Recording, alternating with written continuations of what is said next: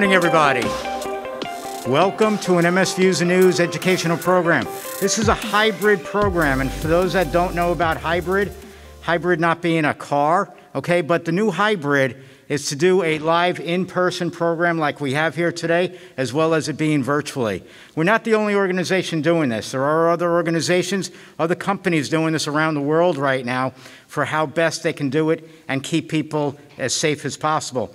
So this is our first for 2021. In 2020, MS Views and News did this three other times in different uh, times around the country and in different states. They were all set up just like this room is, and going forward, this is what we would be able to do as well. Okay, so for today's program, Today's program is with Patricia Pagnotta, and she's going to be speaking about brain health and MS progression. She's going to speak about COVID 19 and medical cannabis. My name is Stuart Schlossman, president and founder of MS Views and News. And let's allow me now time to introduce our guest speaker. Her name is Tricia Pagnotta. She's an MS certified nurse practitioner from the MS Center of Greater Orlando. She's part of the Neurology Associates in Maitland, Florida. She's past president of the IOMSN.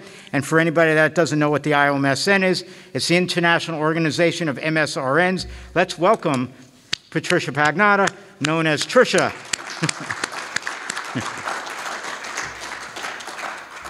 And I'm not going to shake your hand anymore. Yeah. Well, I am so happy. Happy New Year, everyone. Happy to see so many familiar faces. And um, I can't echo enough that, you know, it is good to see persons. And I hope that all of you are doing well. And um, we'll have a very wonderful 2021.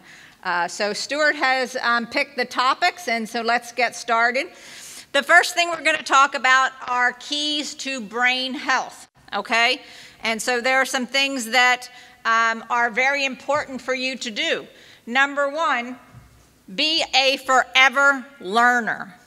There are many myths, misconceptions about multiple sclerosis, and without facts, your journey may be scarier than it needs to be. This is a chronic inflammatory neurodegenerative disease, meaning of the central nervous system. It's thought to be caused by an immune mediated type of attack. We used to say autoimmune, but it's immune mediated, and that is attacking your myelin. And so it's attacking the nerves covering from one nerve to another. So that is what those scars are what we can see on MRI sometimes, but that attacking is what causes your symptoms. It's what causes um, lesions, it's what causes atrophy, and um, then based off of where those lesions are and where the connection is, is what a person's symptoms will be. So everyone is very different. MS is almost never fatal. So that's something that many persons think it's possible to have a very fulfilling life with this disease. So you and your healthcare provider and organizations like um, MS Views and News can help you understand more about MS and how to stay up to date with new treatments. Number two, this in some cases, I would say would be number one, but I want you to be a participant in your health care. I want you to make a shared decision. In comprehensive MS care, it's important for persons to be involved in their care. You need to tell us about you. Don't delay your treatment. The report card, as I tell everyone for multiple sclerosis, is relapses, MRI activity, and disability. But, then, but number four, which is not listed up here, that I always talk to persons about, is being able to tolerate your disease modifying therapy. Because if you don't take your disease modifying therapy, one, two, and three are not going to happen. We know what happens in one, two, and three in clinical studies when persons took their disease modifying therapies. We also know that the most critical time for treating MS is in the first five years. Think about your first five years with MS. Maybe some of you in the room did not get offered a disease modifying therapy. Or maybe there's only one or two to pick from because really there's only been disease modifying therapies. I say only been, uh, but since 1993 94, um, we had the lottery. So we really have not had disease modifying therapies for a very long time. We still have an unmet need where disease modifying therapies are because there'll be some people, maybe in this room or who are listening, who may say, There's not a disease modifying therapy for me. And that's true. There are still some unmet needs. But early on, we can make a difference. And so when I talk to persons about disease modifying therapies, I'm talking to them about what I do for you now is going to affect you 5, 10, 15 years down the road. But I want this to go away. Well, I would like that to go away for you too. And maybe it will, maybe it won't. But if I don't do something with you to help you, five or 10 years down the road, you may be saying, wow, I wish I I wish I, I, could have, oh, I should have, I, you know, and that's not where any of us want to be. So again, there are many disease modifying therapies. I counted them up, and there's over 20 disease modifying therapies. So that's over 20 options for taking drugs. We have drugs that we call high efficacy drugs versus the what we might call a platform therapy or the safer therapies. And the key is thinking about where you are, working with your healthcare provider, talking about what your prognostic indicators are, where you are, where you want to be, and at what risk maybe might you be willing to take to get there. You know, when I talk to persons about the platform therapies, I say, well, they're the safer therapies. They're only safer because we know them more. When you look at the prescribing information, if you were to count up all the different things, the number of things we have to look for are sometimes similar to the number of other things on the more high efficacious therapies. So we just know longer with the drugs that have been out longer.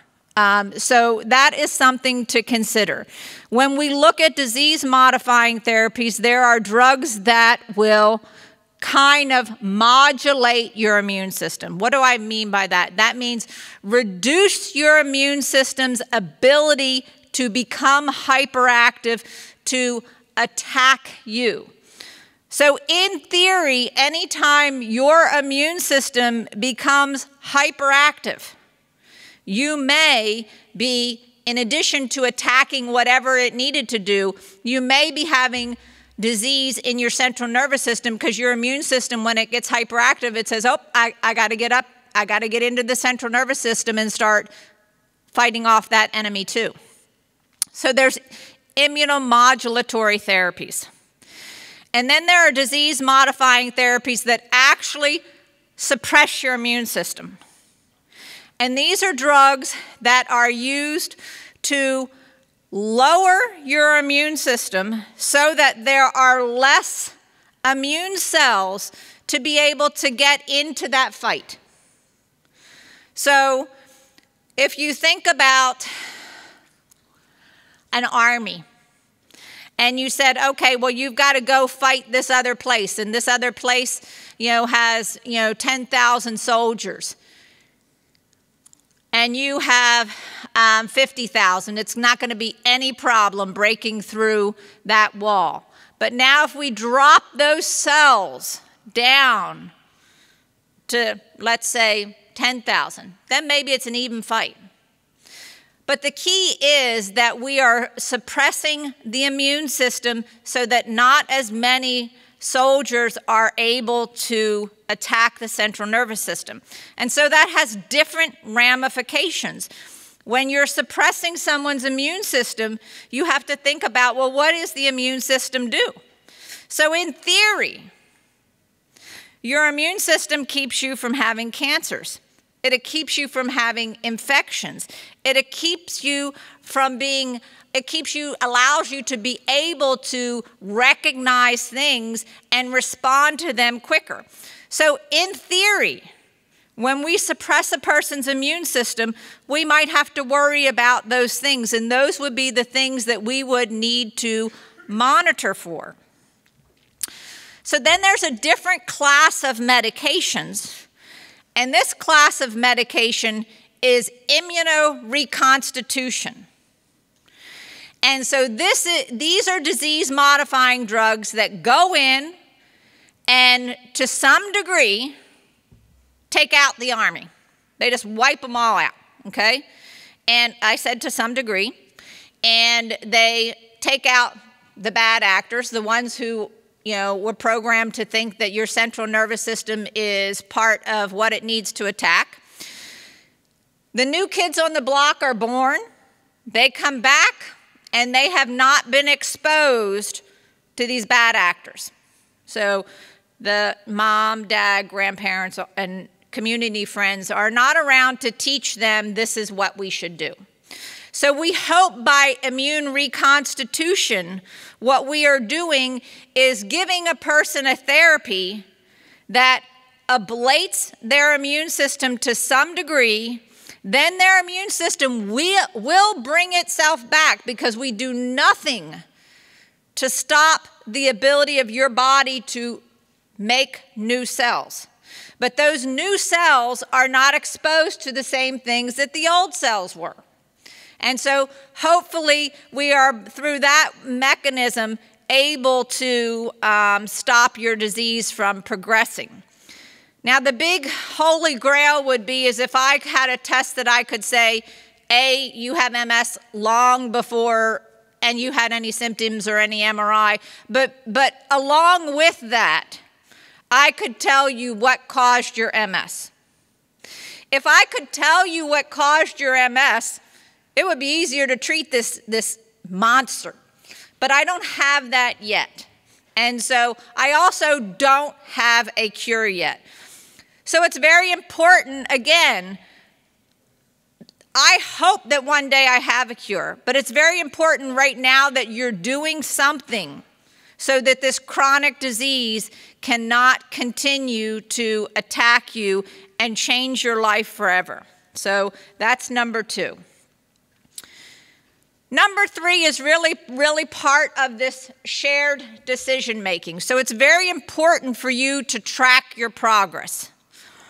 MS is different for every individual. There are no, no, two people that have the same thing. You can have the lesion in somebody in your brain the same way that somebody else has it in their brain or spine or wherever, but yet your symptoms can be totally different. And so again, we talk about that network, that highway. What does your brain and your spinal cord plasticity it's important to think about that. So it's important that you keep track of how you are doing. I try to spend as much time as I can in an office with my persons who I see, but there's limited amount of time that we get. And so it's very important when a person comes in that they're able to articulate what has been happening with them, how are they doing? What's going on? How are they how is their disease modifying therapy working for them? In that is it keeping them from becoming more disabled? Are they having less symptoms? Are they having side effects from that disease modifying therapy? And so it's very important to think about that.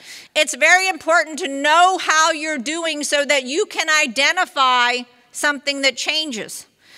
I tell persons, you didn't go to med school, you didn't go to nursing school. I'm not expecting you to be able to tell me all the things that I've learned over the years. But I expect you to be able to tell me about you. And I expect you to be able to tell me if something new changed. And then I go through the, the battery of okay, did it last more than 24 hours? Have you ever had this before? Did you start a new medication? Do you have a fever? something different is there infection blah blah blah so go through the process of could this be a relapse and then decide at that point what we might do about that. So it's, it's very important in this whole process that you remember it is all about you. But if you don't share, it's hard for us to be able to focus on you. You share, and then we focus on you. If you come in and have nothing to say at an appointment, I don't know what we might be talking about, um, but it's important that you keep that in mind. Number four, treat yourself well. So, persons ask me all the time Is there a diet for MS? And as this moment, there is no diet for MS.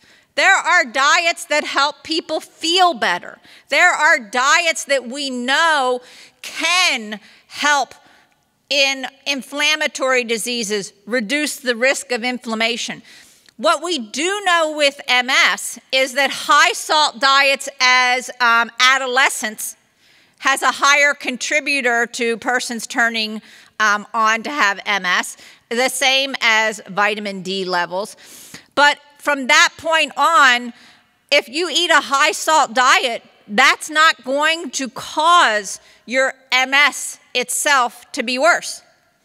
But might your symptoms be worse? So, MS being worse means that you're having new disease activity or progression of disease activity, more lesions, more um, atrophy of your central nervous system.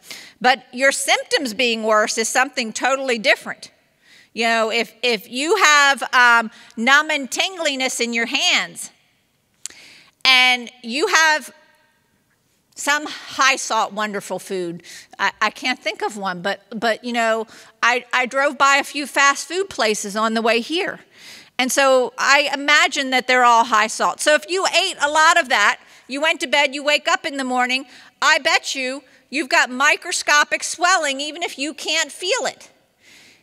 And so your peripheral nerves are being damaged. You're going to have more tingling in your hands. You might have more weight some people are very sensitive to whether they weigh a pound or more or different, um, but we know that affects persons. So low salt will not make MS cured, will make your symptoms better.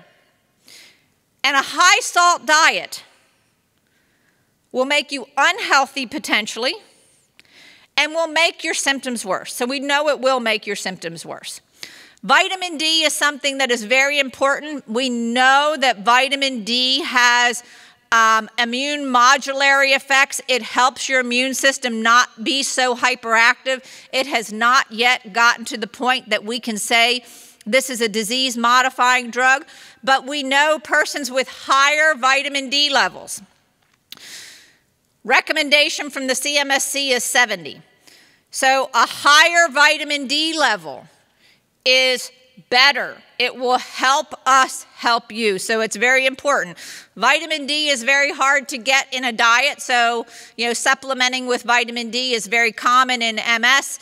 Um, the vitamin D, the best vitamin D is the sunshine, and um, many persons can't tolerate the sun, or you know that you, you get the risk of, of melanomas and all those different type of things. Regular exercise. So it's important to get regular exercise. So when I talk to persons and they're telling me how fatigued they are, and, and I tell them to exercise, I get a variety of faces. Um, and it's like an oxymoron.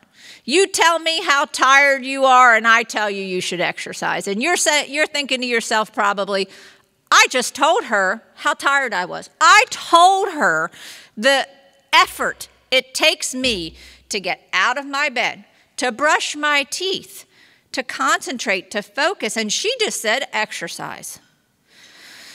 So, you know, um, exercise is a um, unique thing in that um, when I talk about exercise, if I was to surf, um, survey everyone in the room here, I bet most of you, like most of the people when I in my office, I talk about exercise. They're thinking about well, at least before 2020, they were thinking about going to a gym. And now maybe in 2020, persons started thinking about all these virtual opportunities for exercising, but still a vigorous exercise program like what you see on the commercials for some of these virtually based exercise um, type of programs. But exercising can be. That is exercise. I am moving my muscles. That is exercise. I can stand here at the podium and lift my legs up. I can bend down if I can. I can bend over.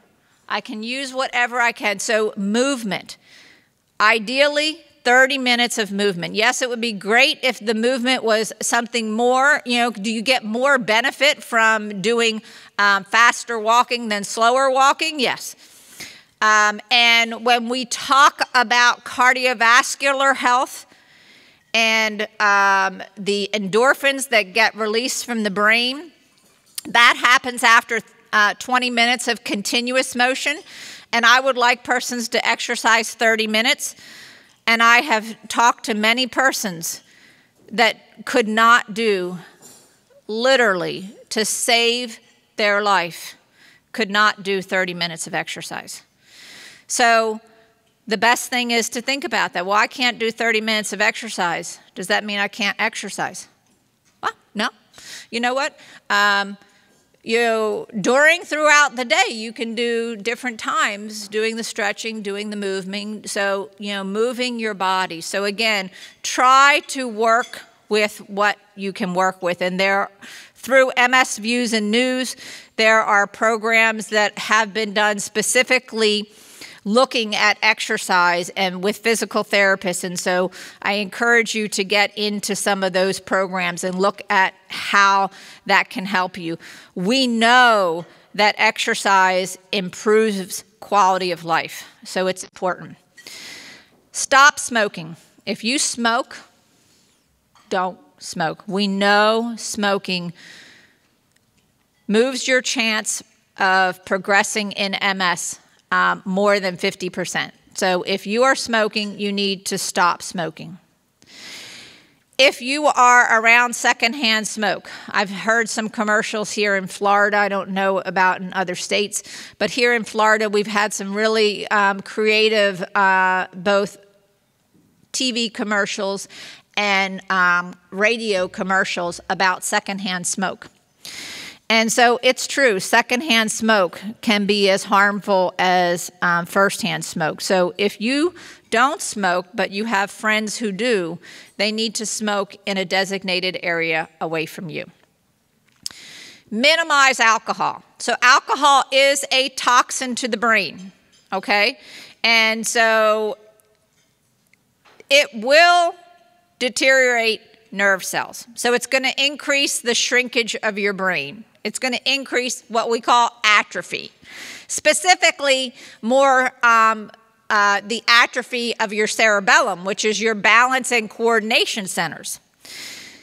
So when you're under the influence of alcohol, might it be a little bit harder for you to do some of the things that you normally do? Well, I think everybody could close their eyes and, and think of somebody that they've seen who was inebriated. And um, think about how that but but now multiply that by whatever you may have and um, that um, can be worse so the the hazard of not only reducing neurons and shrinking your brain, but the hazard of creating a fall or um, something else that could make your symptoms worse. So that's extremely important to so minimize alcohol. Minimize drug use.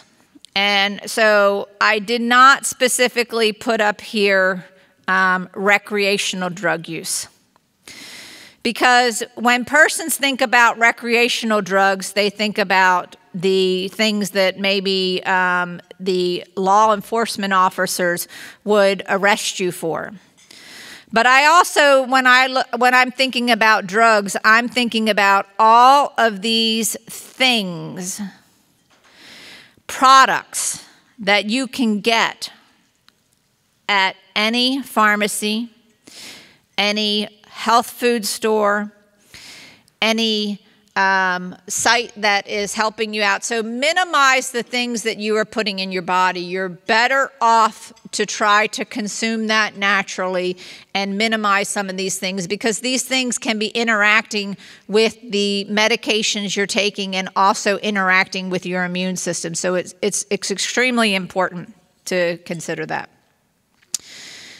Number five, stay healthy. I mean, obviously, wouldn't we all like to stay healthy? There are some things that, you know, we can't get away from. Um, I happen to come from a um, genetic background that um, more than 50% of my father's side died at a very young age of cardiovascular disease. And so I can't get away from that. That's part of my genetics. And so I all I can do is, is take care of myself and monitor for that. I've also had family members that are diabetics. I can't get away from that either. So your genes you can't get away from. But you can monitor for these things and make sure that if you do get these things, that you treat them as aggressively as you possibly can. Because if you ever listen to an MRI talk on multiple sclerosis, uh, they talk about lesions that are classic for MS. And then they talk about these non-specific. Maybe if you've ever read your own MRI report, you'll hear or read about non-specific lesions. Well, those lesions can happen from other things that affect your brain. Heart disease, high blood pressure, cholesterol problems, diabetes, the smoking, and, and the other things. So it's important that if you have a chronic medical illness that you are effectively managing and treating that because we know that persons who have MS, who have other medical conditions, who are not treating them, their MS will be worse too. They will, their symptoms will be much worse. So it's, it's very important for you to make it a priority to stay with your primary care doctor. And I see many young persons with MS who are healthy, nothing but MS, and nothing but MS. And, you know, I appreciate who wants to go to a healthcare provider's office. But you need to have connection with a primary care doctor. You need to uh, provider. You need to have regular screenings for things that come up, and so it's extremely important that you manage that. Plan ahead. So we all came here today, and I bet no one was surprised before they got to the door. It said mass required. So you had to plan, do a little bit of planning. You had to you had to pick up the mass. But the also the other thing was this is this is a Sunday morning here. And so you had to set priorities. Am, am I going to this program or am I um, going to sleep in an extra hour? Because, you know, it's kind of a little bit early for me to have to get up and get there. You know, this program started, you know, wasn't an evening program. So set priorities and rearrange the things that you, you're going to be doing. Conserving energy. If you know you came to this program today, maybe that you're not going to do four other things today. Maybe the rest of your day is going to be a little more relaxing. Um, so it's important to know your limits and know if you overdo it. I haven't met very many persons who have MS who don't tell me if they overdo it one day, they're going to pay for it minimally one or two days later, for one or two days. So, you know, Sunday was a great day. I went here, then I had your birthday, da da da. I went all these different places, and I'm out, and it's beautiful day, and you go and do all these things. And guess what? Monday might not be so easy. So it's important to be thinking about that. Learn to problem solve. Um, so life is full of challenges, uh, and um, it's important that if you have a problem, you look at that. You figure out what that problem is, what is um, interacting, what's making that better, what's making it worse, what type of things go along with that. Then start to come up with ideals of things that you can do. Sometimes it's best when you are able to get through this process that you start talking with somebody else about it. because they may think of something that you've never thought of. Um, so you have to get ideals and things. And then it's important, so pick something. Pick something that might help that problem. And then try to implement that and see if things get better. And so go back to um, keeping track of yourself. This is an important thing. If you define a problem, track how you do with whatever you do to try to make that problem better and see if, if it's um, solvable. I said persons are very unique with MS. Sometimes the symptoms you have, again, might be different with you, but somebody else who also has MS may have experienced some similar things. And so you still can get ideals from persons who are dealing with this condition too. Accept help. And so everybody needs help.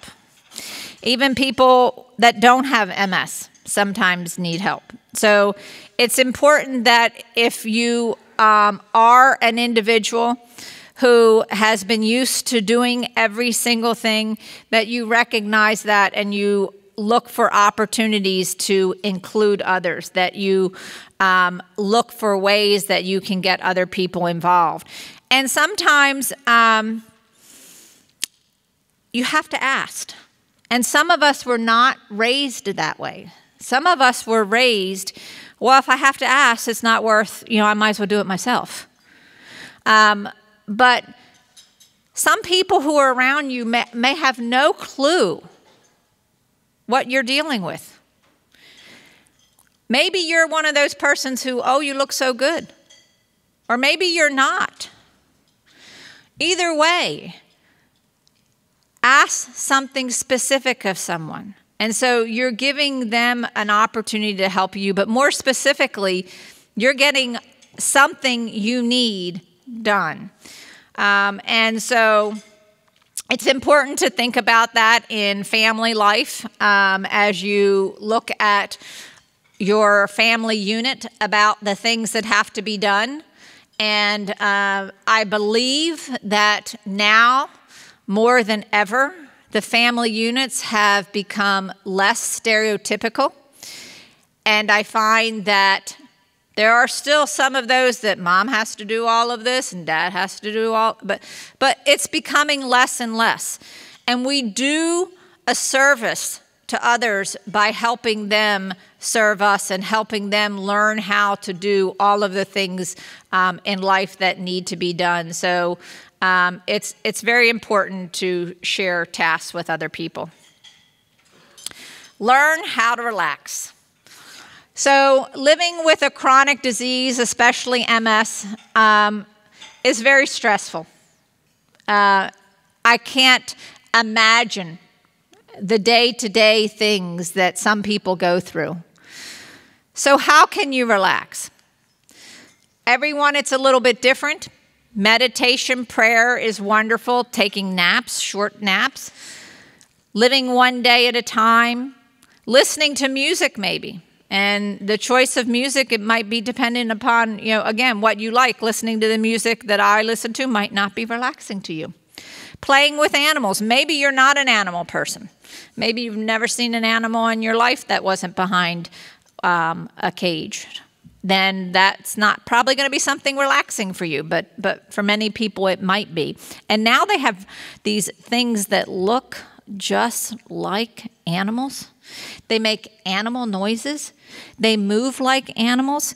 These little virtual things you'll see them if you go to the alzheimer's association website. They have virtual or or um, techno- technology type of animals that are really not animals. Cats and dogs, small, middle sized cats and dogs, are, are being replicated um, through what um, one might think is a um, sophisticated stuffed animal. And so that can be very relaxing for, for many persons. Spending time in nature. We know that that is very helpful. So hopefully um, you can get out and enjoy some of our wonderful sunshine that we have here. And so the thing is to live a good life. Um, to look at things that are challenges and try to see them as positively as you can. Not everything is easy. Think about how you have changed and how you have adapted. And um, many persons see themselves sometimes, I'll have persons tell me how weak they think they are. And I think in my mind, oh my goodness, how strong you are because you're dealing with things that many people don't deal with, and many people would not fare as well. So give yourself a pat on the back. So that's extremely important. Staying positive and hopeful. Back in 1990, we didn't have disease modifying therapies. You know, a little bit earlier than that, we didn't tell persons that they had MS all the time. It wasn't anything that we could treat, so we didn't tell people persons who had MS didn't tell other persons. Um, but look how far we've come. And so it's important to think about there are things that are not good in our life, but that there are things that are very good. And so cultivate the thought of trying throughout the day to think about something that is good. And that may take a bit of work. It takes a lot of practice sometimes. So go slowly, be patient with yourself. Again, don't beat yourself up for this. Try to think of challenges not as, you know, huge things. Break them down to little tasks. I can do this. Um, and, and don't let vague fears or what somebody else might say to you change what you might do um, and add value and positivity to someone else's life. There's nothing better than leaving behind or leaving with someone else. So now we're moving on to MS and COVID 19. And so this has been a um, different year for every single one of us.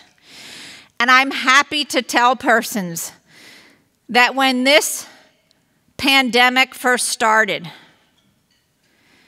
those of us that treat MS were just as confused, just as alarmed as many of you were. Not only for ourselves, but for our patients. And over the year, we have learned many things. One of the things that is hands down known MS is not an independent risk factor for poor prognosis with COVID. So if you have MS and you get COVID, don't start planning your funeral. We do know that there are certain persons who have MS who might be at higher risk. And some of this goes back to some of the things that the general population is at higher risk for. So, people who have more progressive MS, people who are not as mobile, people who have other medical problems, people with MS who um, are over the age of 60, that's an independent risk factor.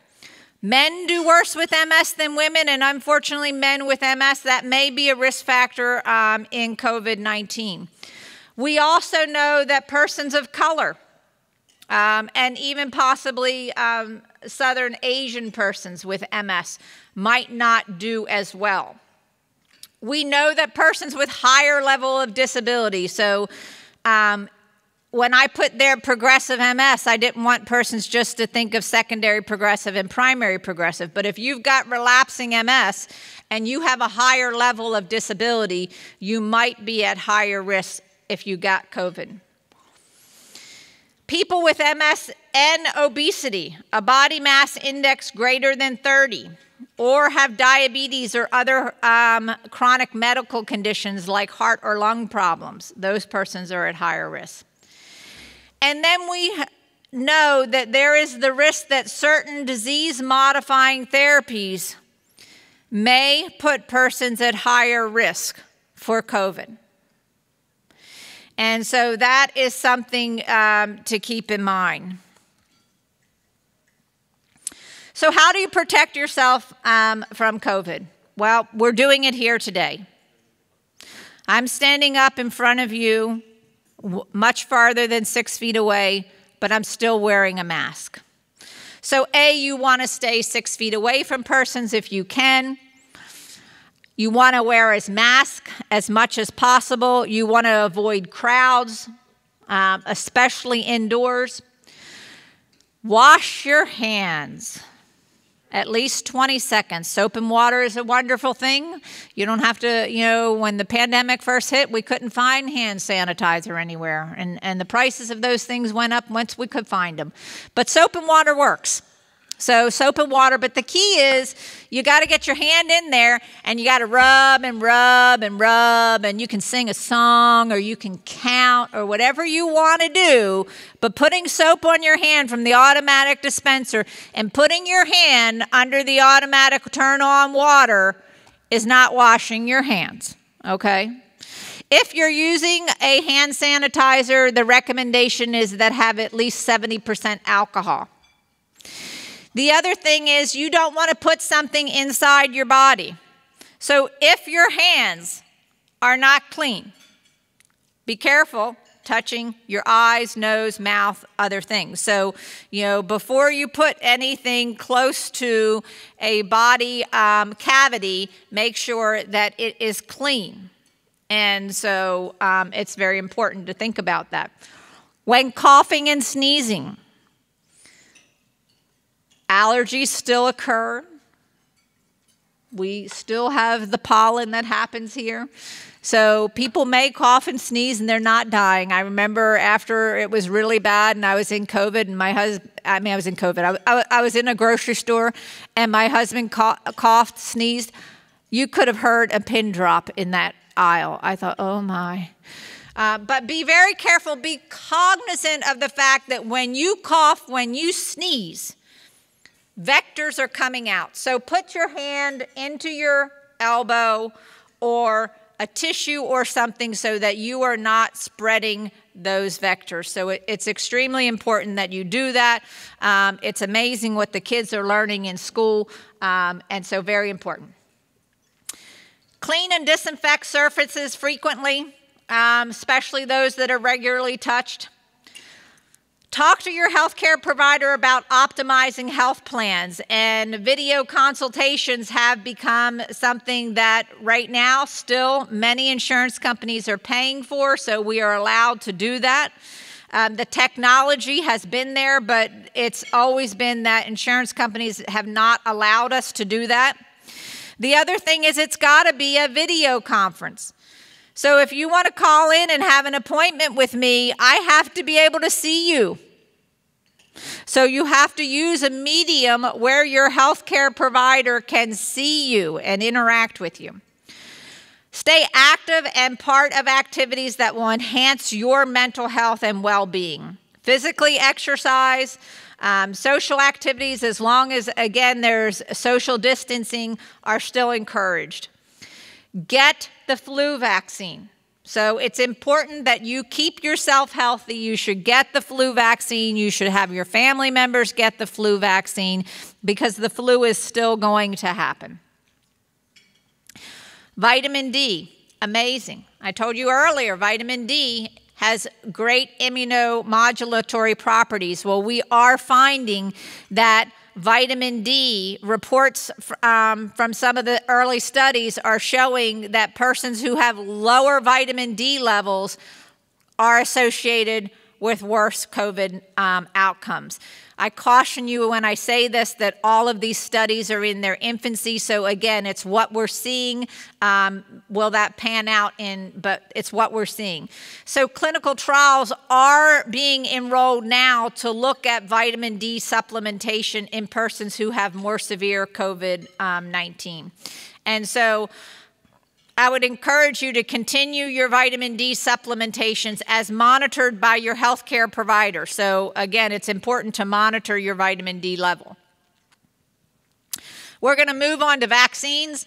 So, vaccines are really a substance that is caused to stimulate your immune system to develop antibodies or some other way to recognize a causative agent of disease um, and then to be able to attack it. So that's basically what a vaccine is. So the newest um, technology in vaccines is mRNA, messenger RNA. And these are vaccines specifically ha we have right now for COVID. Um, they are not made from a live, a weakened, or inactivated virus. They are technology that puts a message, sends a message to your cells makeup to make a harmless piece of protein, to put a little antenna, so to speak, up on the outside of the cell. When that is done, that protein has been made, that vaccine component goes away. Your body does not need it anymore, it rids it. So it's not hanging around in your system. Then that cell display, displays this piece of protein, and every time then you are potentially exposed, your body will recognize that and be able to make a rapid assault and um, protect you from future infections. And so we have seen with the mRNA vaccine trials that there's been 90 to 95% efficacy in these trials. And um, I'm sure I'm going to get many questions, so I don't want to answer questions before they're, they're given. The two that we have right now, the first is Pfizer. Um, and Pfizer came out first. It is that mRNA technology. It does require two shots, 21 days apart. It does not contain eggs, preservatives, or um, latex. Oh, a typo there, sorry. Um, recommended for persons 16 years or older.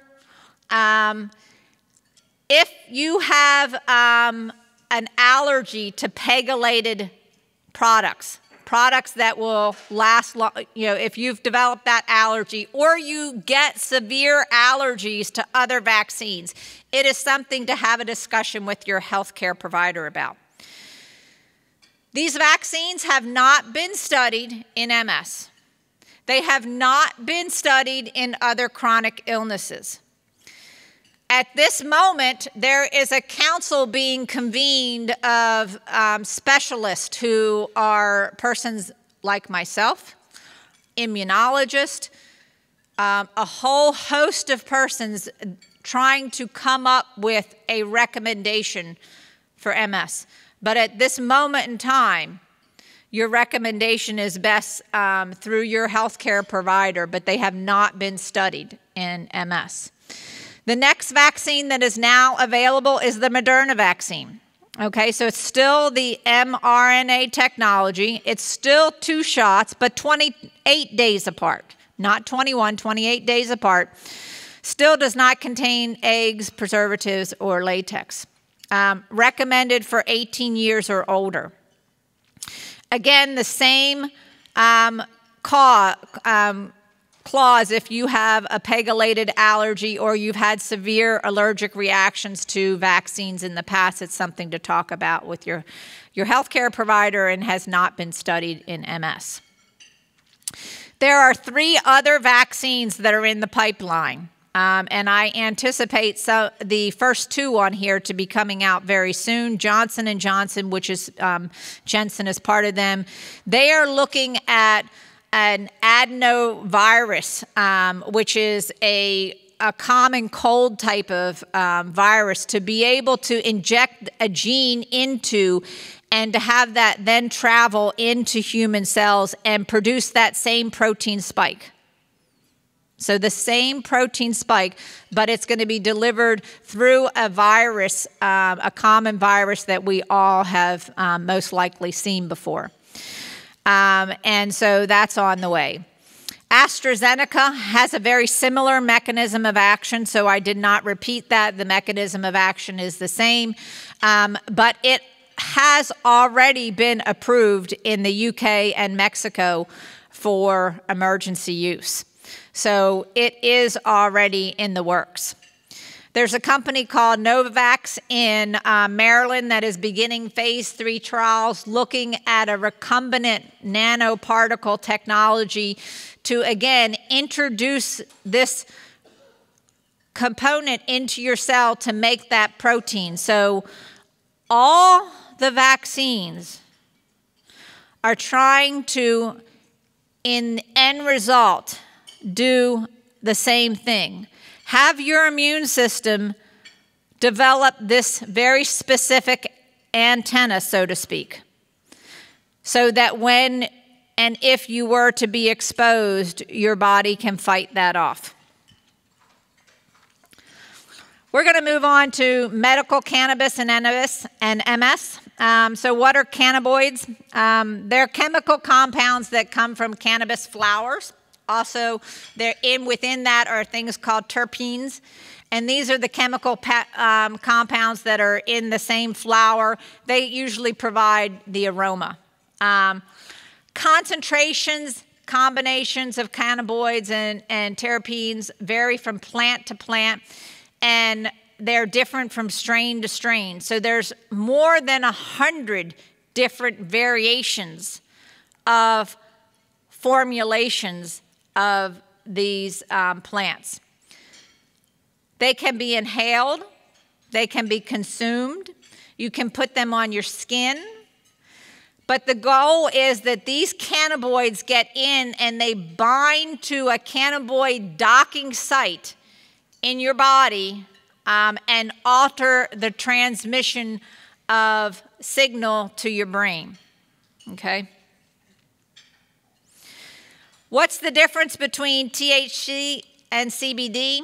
Well, THC, the chemical name tetrahydrocannabinol, is um, what we think is the psychoactive substance, the, the part that alters your mood, your perception, your awareness of your behavior. That's what that component of um, is. The CBD, the cannabinoid, um, it does not have those psychiatric. um, psychoactive properties. And so, and it's found in a much less concentration um, in the plant. Um, but there are strains that have um, a higher concentration. So that's the biggest difference. So, medical cannabis and MS. Um, what we know is through subjective studies, and we are um, continually working on um, finding more objective data, but through subjective studies, we know that persons use this for spasticity, for pain, for sleep disorders, for anxiety, and for bladder irritability. So these are the symptoms that persons can have with MS that we have most evidence for uh, medical cannabis being effective.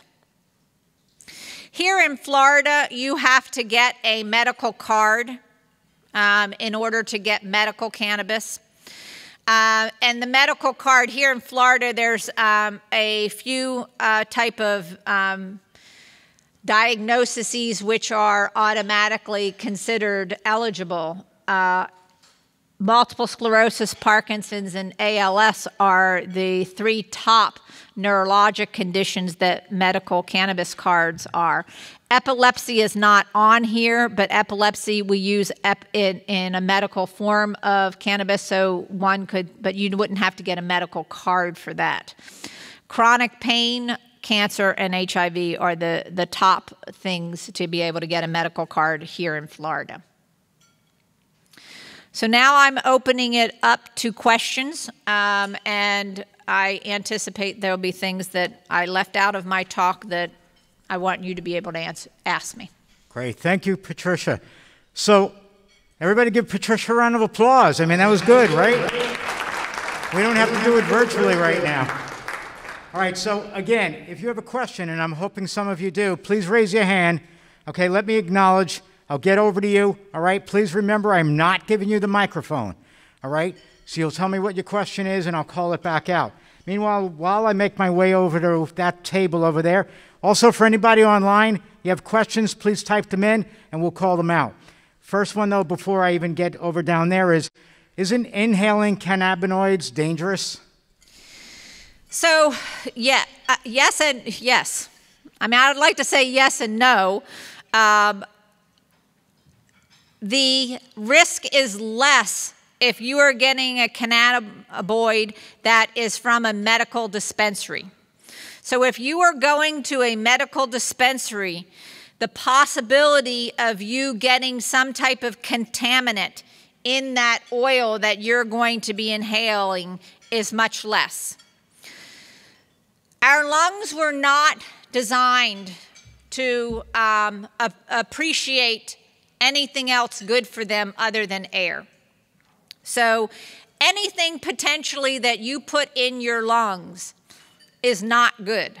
And so, depending again with some of the risk factors that you may have genetic wise or already have, or the type of oil seeds, flowers that you are inhaling, the, the higher risk. And so I am seeing individuals and reports of persons that are getting some things in places where the purity is of question. And when that's the case, not only are you damaging your lung from something that shouldn't be there, but you're also running the risk of some impurity that could further accentuate that damage.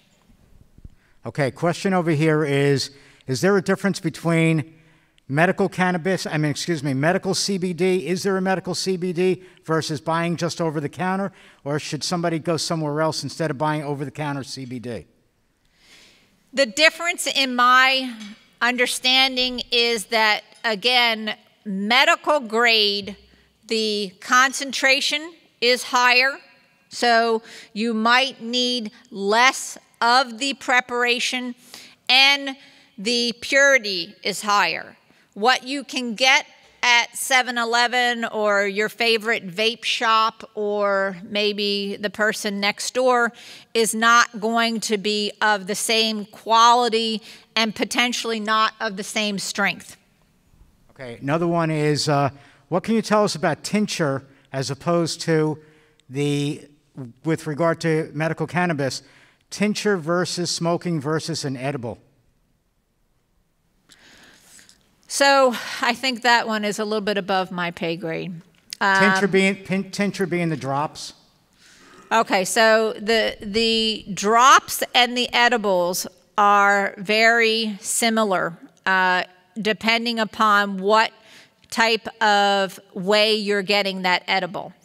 So if you're getting an edible that was not the the substance was not put in it before it was cooked, then you have a high chance of that substance that was put in there being the same that you when you put it in your mouth. When you cook a substance, so when you make brownies or something, you have a risk of chemical interaction and lowering the um, the availability or the strength of the substance that you put in there. The drops are a little bit higher concentration sometimes the issue with drops is you have to be a person who's very, um, has good hand dexterity or recognizes that you don't have good hand dexterity and drop that somewhere else and then put it underneath your tongue. Um, or in your mouth because if you are dropping and putting things in your mouth and you don't have good hand dexterity, you might get more than what you anticipated that you were going to get quite by accident.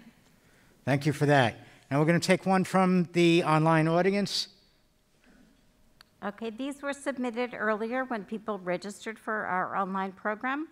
And someone asks, um, they would like to know if progression slows with age. Very good question. So I would love to tell you that progression slows with age. As a rule, as a rule, our immune system weakens as we get older. And so other immune problems can happen because of your immune system weakening. So, might you get other medical problems that might make your MS worse? That's a possibility. But as your immune system weakens, the ability of your immune system to attack yourself should weaken also.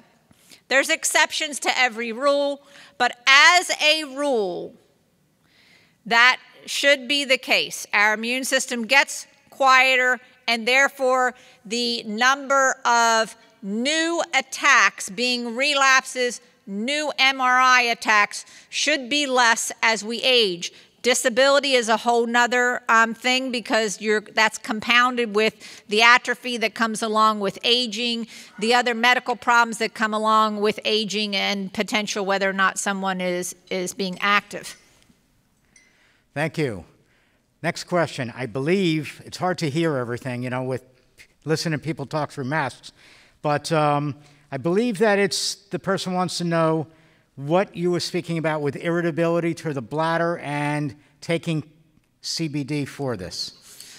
So, bladder, just like the other muscles in your arms and legs, when you think of spasticity and you think of something going tight and you can't move it, or, or you know, flexing up and you can't straighten it out.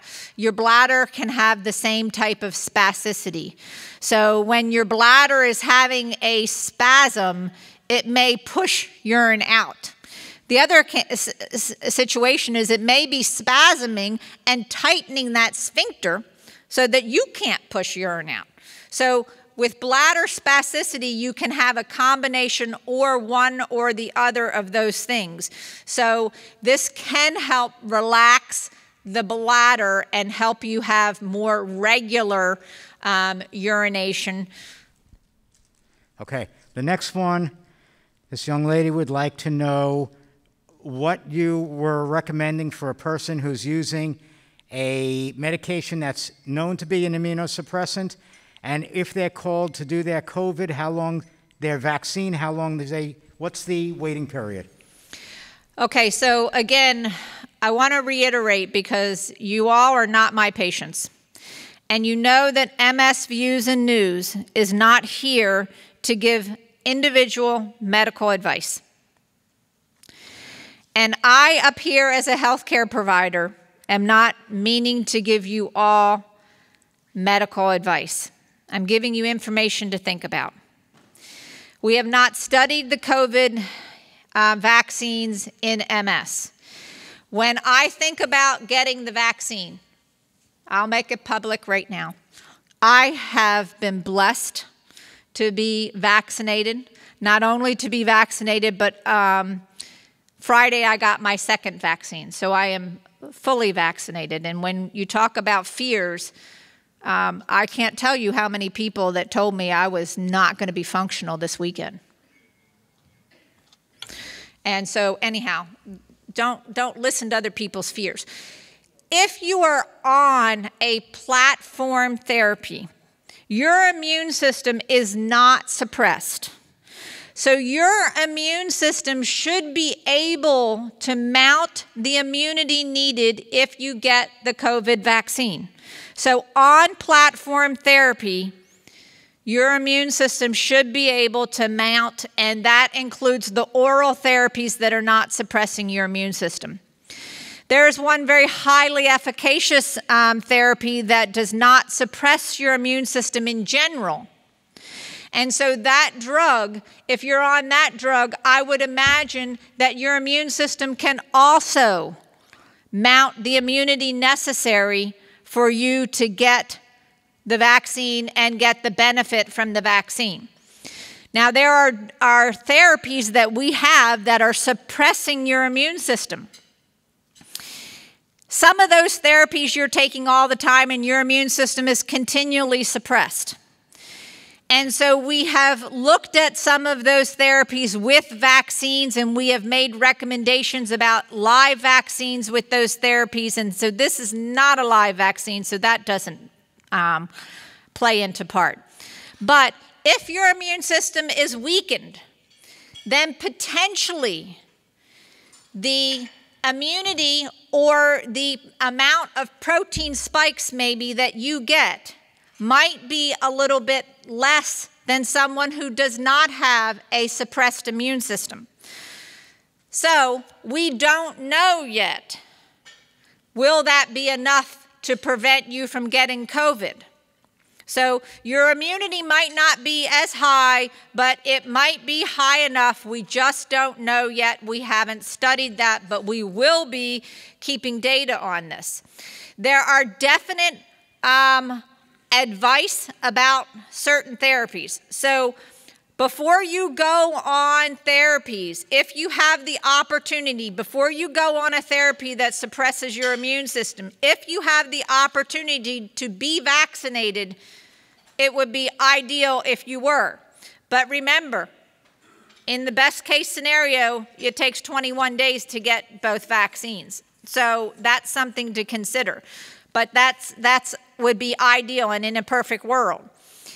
If you are on one of those therapies that is suppressing your immune system and that suppression is not the same all the way, you would probably be better to get your vaccine with some recovery of your immune system so that, again, you have those cells in place to make some immunity.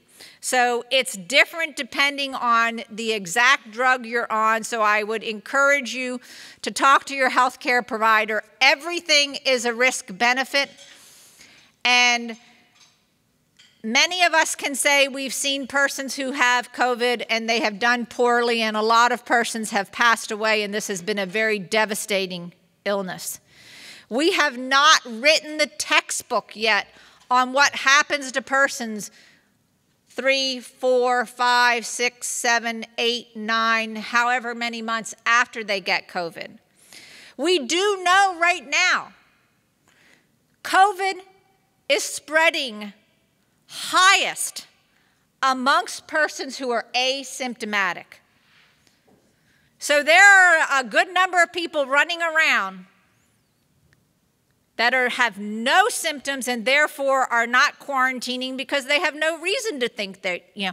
And so we know that this is a very contagious and has caused all of us much harm. And so, in general, I think that you have to consider the risk of potentially getting that virus um, versus getting the vaccine. Okay, thank you. Uh, Patricia, I'm going to ask you that you try to shorten some of these answers because we have a lot of questions to go through. Sorry, and we need to be finished in 20 minutes, all right? So we just got to go with quicker, shorter answers. First one well, all right. We're going to let Jill take one from the online, and then I have one from the center table. What is your thoughts on adding hemp seeds to diet? There's no studied data about hemp seeds in the diet other than there are some persons that think it is anti-inflammatory and does help with pain and there's some cardiovascular benefits from hemp seeds. Great. Thank you. All right next from the center table is there a reason why it, could there is there anything known about if multiple sclerosis is a starter for other diseases that can be later called comorbidities such as asthma or other things. Ms has not been known to cause other diseases. Some treatments that we have given persons can contribute to the development of other diseases. Autoimmune diseases or immune mediated diseases tend to have some genetic um, predisposition. So it's possible if you have MS that you came from a family that has some other immune mediated diseases and might you be unfortunate to get more than one immune mediated disease. Thank you. Back to the online. I have a question about um, updates that relate to the use of medical marijuana and cognition. Is there information on that? We are studying that uh, as fast as we possibly can. And there is data from uh, Dr. Foley, who is working with um, partners. And there is some data to suggest that there is cognitive impairment related to um, THC use, and that that cognitive impairment may not be just while you are under the influence. So there is suggestion that there is a um, deterioration of your cognition with THC use. Okay, back to this side. Well, before I get to this side of the room, I've been walking around with somebody's questions, so let me get to his. With alcohol and cannabis having similar effects on the body, how does using medical cannabinoid reconcile with the suggestion to monitor alcohol use? Just like um, I say to minimize alcohol use, because alcohol is a legal substance that you can go into a store and purchase without um, someone helping you with it is why I say that. I would tell um, an individual if you go back to one of my slides where I said minimize drugs, uh, I think that persons should only be using the minimal amount of CBD oil or THC to treat their symptoms. So, beyond treating your symptoms, I don't think that person should be using above and beyond. So, minimize THC and CBD. Back to the online. Uh, thank you. I have a question, and of course, I just lost it.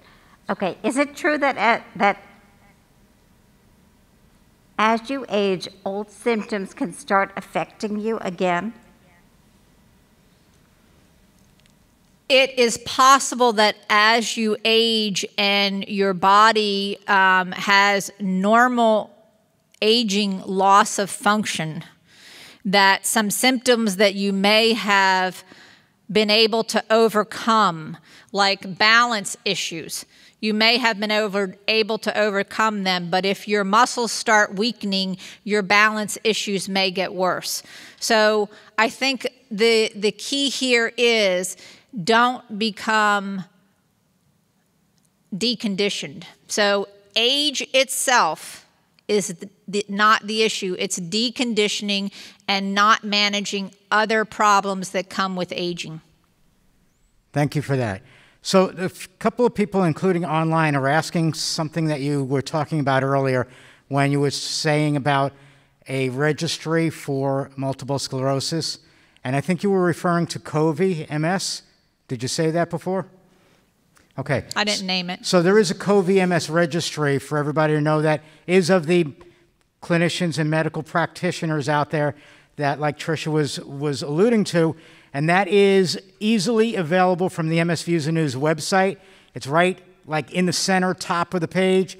And so if you go there, you can find out about all that is being studied with the vaccines, with COVID MS itself, and what they're finding from all over the world. It's a registry as it's being reported as MS patients get sick or as they catch COVID. All right? So that'll probably take care of a lot of those types of questions.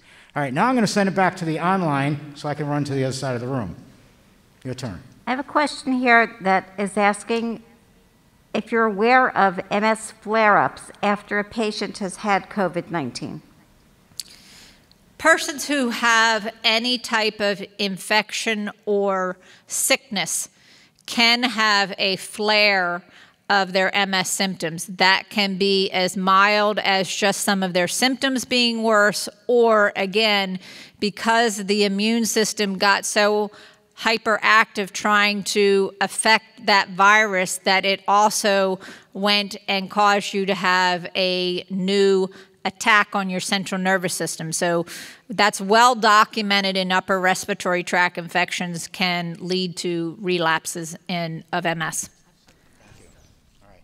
So the question is if, um, if you've had COVID,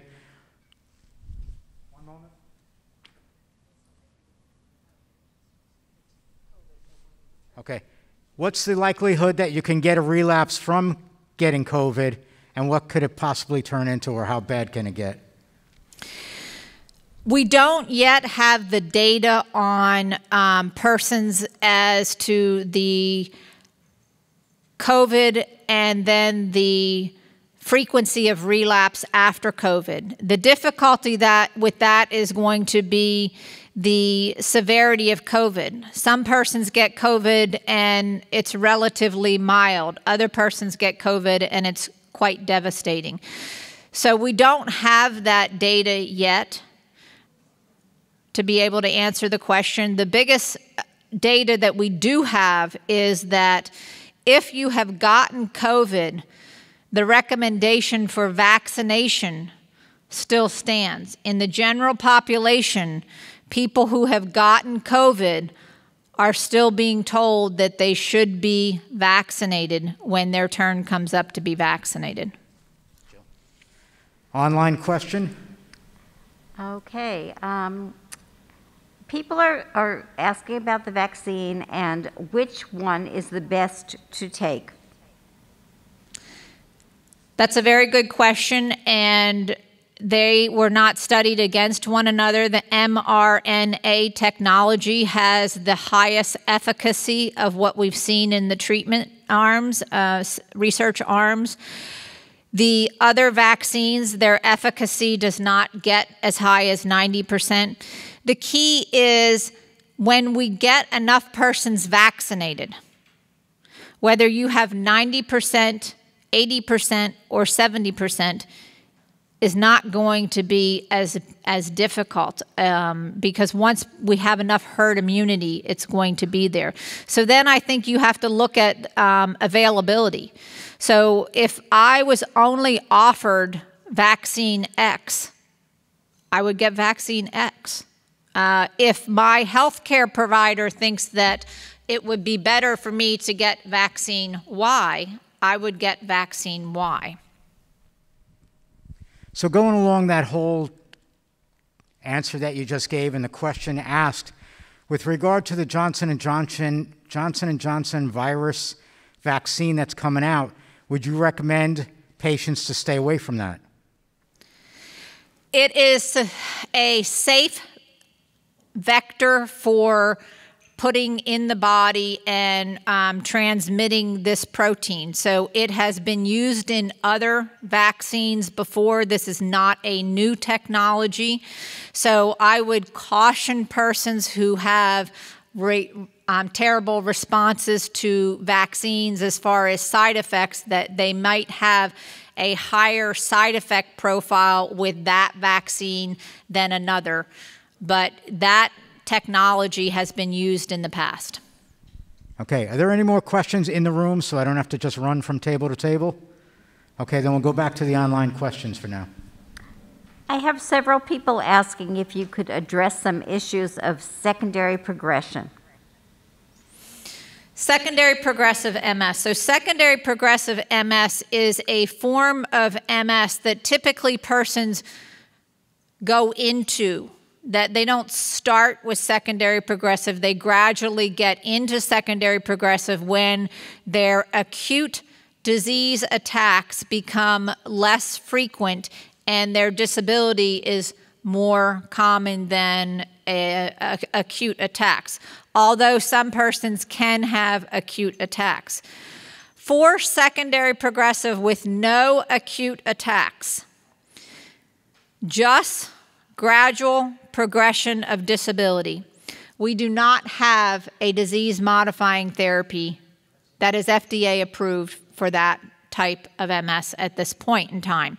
So the key there, again, these individuals have, quote, burned out their central nervous system as to having acute attacks. And their biggest challenge is going to be keeping from becoming disabled. So, my advice to persons who have secondary progressive is manage their mental and physical well being and strength the best that they can and get with persons that can help them minimize their disability. Okay, I have another question from the floor, and that is for those that are using an immunosuppressant um, medication, from each dosage that they have, such as the Ocrevus or the Mavenclad or whatever else is out there, what is the suggested time before they go out in public? So, in the clinical trials with these drugs, we didn't have COVID 19. Okay, so COVID wasn't around when we did clinical trials uh, for these drugs. Ocrevus and Lemtrada and Mavenclad were all clinical trials that we did at my center. And we did not give persons recommendations after dosing them to do anything different in their life. So, what you see from clinical trial data as to the side effects from those drugs were people who took drug and went about their life normally, did nothing different. So, when you look at a drug that is suppressing your immune system, then you have to look at when you have new things that come up, like this COVID. You have to look at the mechanism of action of that drug and when are your cells repopulating and at what point and what is the thing that you are avoiding. If you're avoiding going to um, your church where there's a hundred people and you're all squished in, that's something different than if you're avoiding going to the park with your husband that you're with every single day of your life and um, admiring the ducks in, in the water. So you, you have to look at that. There's no guidance that I can give you other than common sense and talk to your healthcare provider about where your immune system will be at what time. Okay, one more from the online, and then we're going to be finished with questions. I have a question from Nick, and I'm not quite sure what he means, but he says, Is high blood pressure a symptom? And I don't know a symptom of what. Um, I think he's saying, Is high blood pressure a symptom of multiple sclerosis? Because that's what we're here talking about. Um, and so, high blood pressure is not a symptom of multiple sclerosis, but high blood pressure has been seen in some of the drugs to be a, a, side effect of some of the drugs that treat multiple sclerosis. So, um, no, and depending upon the drug. And would it would it affect um, somebody's uh, response to the COVID vaccine or the COVID illness? High blood pressure is an independent risk factor for potentially doing more poorly if you get COVID 19. So, would it be a, a, priority for getting vaccinated? Would they consider it one of the pre existing conditions? It would be considered a pre existing condition because it is defined, clearly defined by the CDC as a higher risk population. So, yes. Thank you. Great, thank you. So let's say thank you to Patricia for doing this program today, and of course our thanks to who? And of course all of our thanks to all of you because again, if we're not, if you're not here for our programs, we can't do our programs.